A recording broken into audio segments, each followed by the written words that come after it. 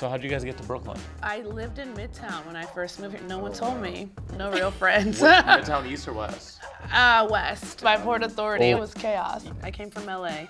But before LA, I was in Baltimore, where I'm from. Love Baltimore. Coast. I'm an East Coast, yes. Born and raised. And lived in LA for 12 years before I came here. Um, and the Midtown happened. I was in Midtown during the height of the pandemic, the Oh, scariest shit. time. I was That in is scary. Midtown, yes. Wow, it was really really, it was so spooky. But we did it, and now I'm like, we can do anything. And now I'm in Dumbo, which Oh, is, nice. I say Disneyland. Yeah, definitely. You know what that stands for, right?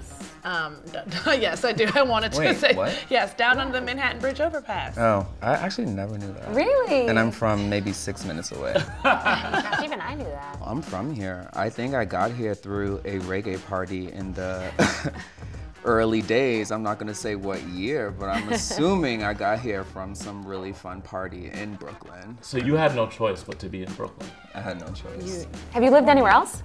I've lived in Paris and I've lived in LA for fashion, which is like not a week of work. Somehow it's a three to six month stay there kind of thing. One extension for maybe a year and a half, Italy, but I've lived in Brooklyn my whole life.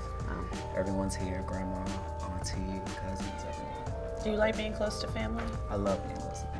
Wait, where did you come? From? You were. So I am originally from right north of Boston. Okay. And I was living in uh, Houston. I did Teach for America. I was a teacher and principal. And then I actually worked in Harlem. Were you excited to come to New York? Yeah. Because it's so fun. So I played basketball in college, and the only time I ever came to the city was for basketball tournaments. So it was very minimal ex- exploration. It was just in and out, like one restaurant, whatever. So I trusted my friend who um, we roomed together for my first year, and she was like, "I found this place, fourth floor walk up, no washer dryer, you know the, the works, no natural the- light, the- the beginning. zero natural light." And I'm just like, And you?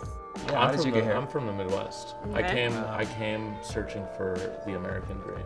Okay. Riches. Sure. Can I ask you something? Yeah. Why are you so general? Like, where in the Midwest? "Oh, Why am I so general? I was just allowing frustrations to happen just now because all of my Midwest friends say I'm from the Midwest. Like, as if mm. these states don't stand alone on their like, Because they don't. Where are you from? Minnesota. Minnesota. Minnesota." love Minnesota. Well, how'd you get to Brooklyn?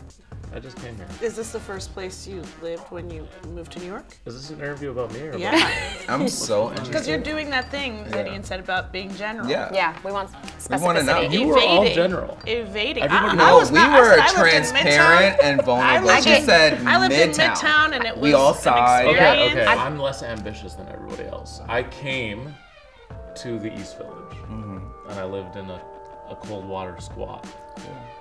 And then I moved to Williamsburg. And now we have information. That's intriguing. yes. amazing. Yes. What are you guys gonna do with that information? And now we can do something. Honestly, I have I'm so gonna follow-ups. pay you to use cold water squat because that's a great It's line. okay, I stole it from Jerry Saltz.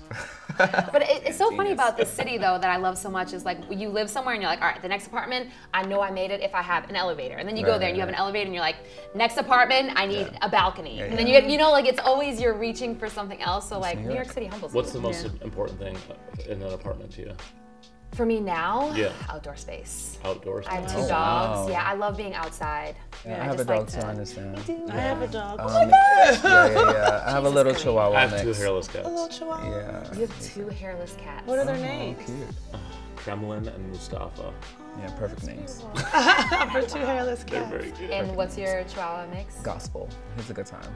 Gospel. Well, Chief.